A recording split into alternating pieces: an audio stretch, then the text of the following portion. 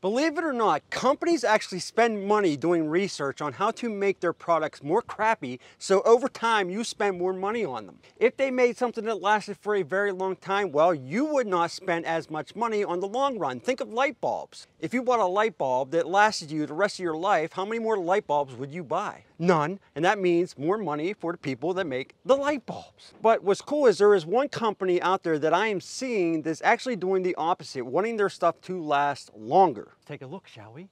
So if you are a subscriber to this channel, which I'm sure you are, you know that I love Diablo, or as I like to call him, Diablo. Now that said, before we go any further, I want to let you know that I have never ever accepted a dime from Diablo. I've never been paid by them, but I want to let you know that I just love their stuff. And there are certain things out there that I just love. And if it's a company that I really respect and think they do a good job on, I'm going to keep bringing them to the channel. That said, if a company that I do love ends up making something this crap, I'm going to let you know about that as well. That's how I roll, yo. Which brings us back to Diablo.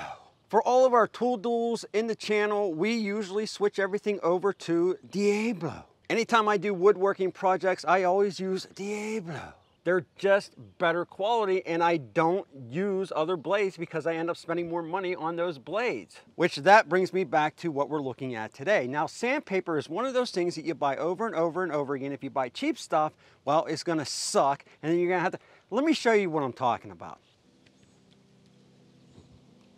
Thank you for calling Diablo. How may I help you? Hello, Diablo. Yes, Diablo. How may I help you? Yes, I need to order 53 boxes of sandpaper. Uh, 53 boxes. Excellent. That will make us a lot of money.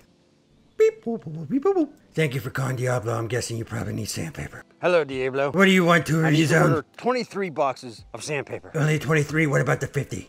No, 23 boxes. Uh, you're just so cheap, TRZ. Uh, whatever. Hello, thank you for calling Diablo. Do you need sandpaper?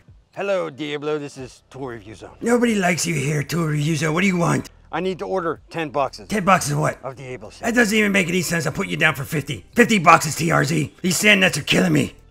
Diablo? What? This is Tool Review Zone. Why, what do you want? I had to sell my Ferrari because of you and these sand nets. I still have a bunch of your sandpaper. and I don't need to place any more orders. I knew this would happen to Review Zone. Goodbye to Review Zone.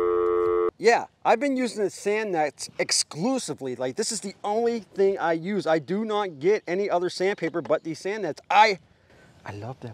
The only issue is, you know, I had to use these on my sanders, and sometimes I wanted to hand sand, and I couldn't do that because I didn't have any sand net paper that I wanted to use on the block until now. So not only do they have the sand net for your sanders, but check this out. They came out with a whole new line of products. Now, you still have your regular sandpaper, which is real nice like. But now they have the all new sand nets that you can use on your sanding blocks. Yeah, they're drywall sanding sheets, universal reusable sanding sheets. You can get them really small or you can get them really big. Yeah, you can slice and dice these bad boys up a little bit and then throw them on your sander or on your block for the hand sanding. But not only that, they have new sponges out here. So if you want to wet sand or do whatever you need to do with those, they have different grits. This is 180.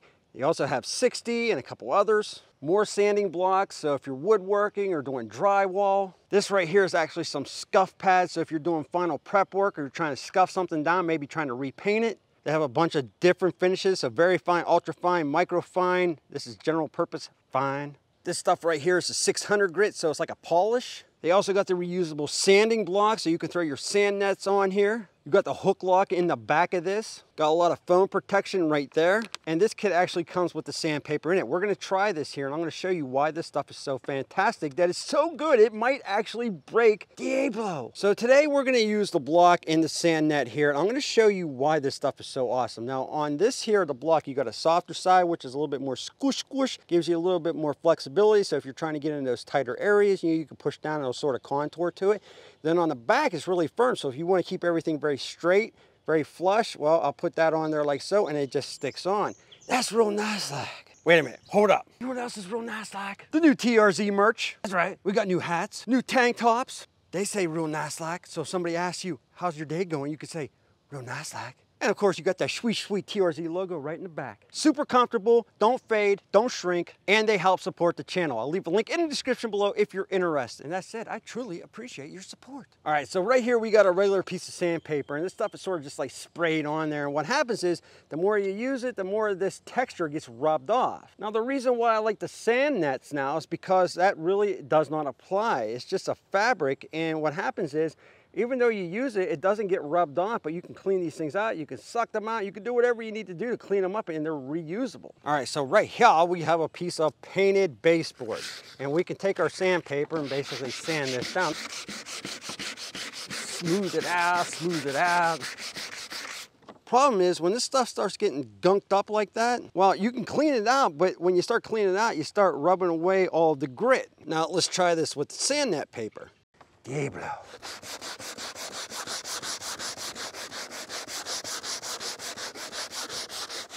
Now, even though that's gunked up, I don't have to sit there with a wire brush or whatever trying to clean that out. It's basically see-through right here, so I can just do that and it'll knock most of it off, but then I can come over with a hose or a sweeper or whatever. I can vacuum that stuff out, or I can just run water through the back of this and it'll just drain it out, really.